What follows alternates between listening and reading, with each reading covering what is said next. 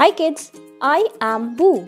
Today we will learn skip counting by 5 places forward.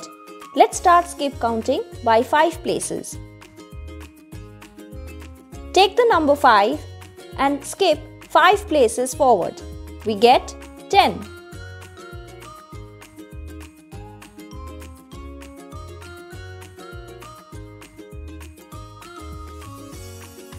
Then let's take the number 10 and skip 5 places forward. We get 15.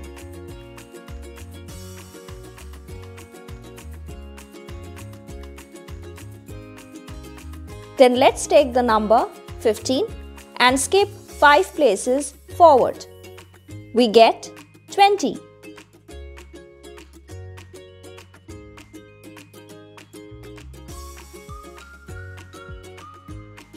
Then let's take the number 20 and skip 5 places forward.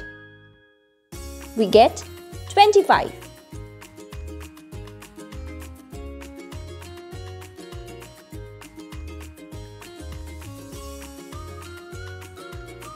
See kids, how fun and easy is skip counting?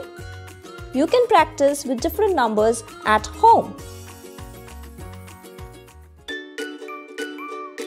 Don't forget to like, share and subscribe to our channel.